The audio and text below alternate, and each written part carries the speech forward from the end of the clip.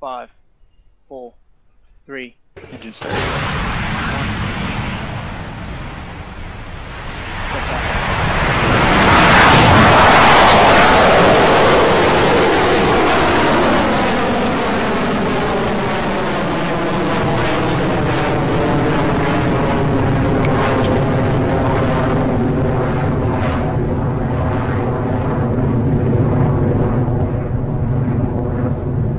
Stage one propulsion is nominal.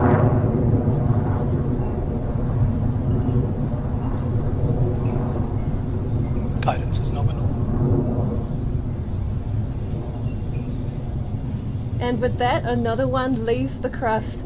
Electron has successfully cleared the pad at terminal Launch. Complex 1 and is on its way to orbit.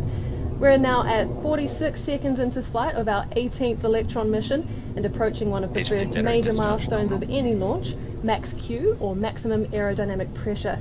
This is the moment during launch when the forces against Electron are at their peak. We'll be coming up to that very shortly, so let's listen in.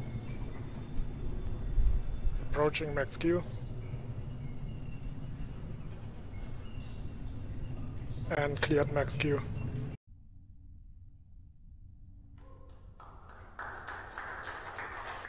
Stage separation confirmed. Stage two engine confirmed.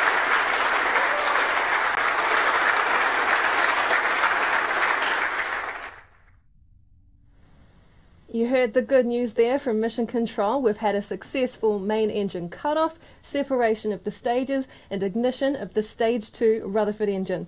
Up next will be the fairing jettison. And there they go. There's clean separation of those halves for the fairing jettison.